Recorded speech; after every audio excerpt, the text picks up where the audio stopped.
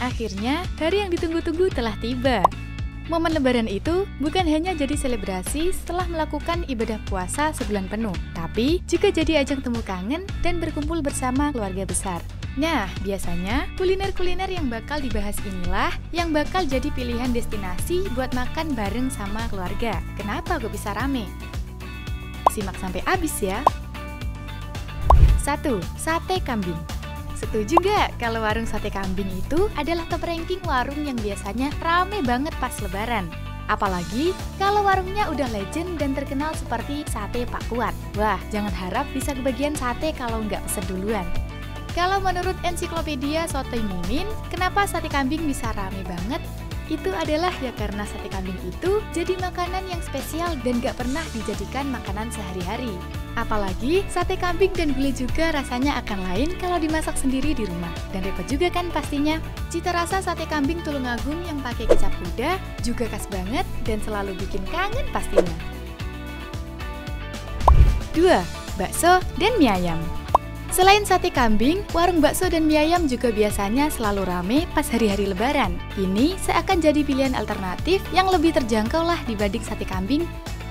Menurut hasil riset dan pengalaman, fenomena ramainya tukang bakso mie ayam saat lebaran ialah karena orang-orang banyak yang kaget banget makan bakso mie ayam pas siang-siang. Tapi kalau menurut Mimin sih, bakso dan mie ayam rame karena ya ada orang-orang variasi kuliner yang beda. Orang-orang biasanya udah kenyang dan bosan makan nasi terus. Jadi, milih bakso dan mie ayam aja yang lebih ringan. Dan nanti bisa makan-makan lagi deh. 3. Tahu lontong Tahu lontong sebagai kuliner salah satunya di khas Jatim dan cukup populer di Tulungagung ini biasanya jadi pilihan kulineran malam.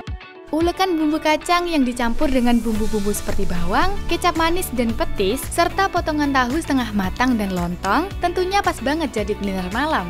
Harganya tentu super merakyat. Biasanya sih mulai dari 6 ribuan aja, meskipun murah tapi rasanya enggak murahan. Apalagi kalau lontong di Tulungagung juga spesial karena kecap yang dipakai itu kecap legendnya Tulungagung. Yang keempat, soto dan sop ayam. Selain ketiga menu di atas, soto dan sop ayam juga jadi pilihan untuk makan keluarga.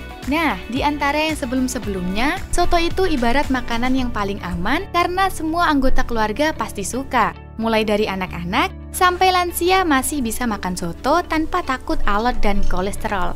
Makanya nggak heran kalau soto dan sop ayam selalu ramai juga pas libur lebaran. Kalau di Tulungagung sih, biasanya warung soto Kasibi, terus sop legend Pak Jono dan Sumirah sih yang selalu ramai. Nah, itu tadi kuliner-kuliner yang selalu ramai pas libur lebaran.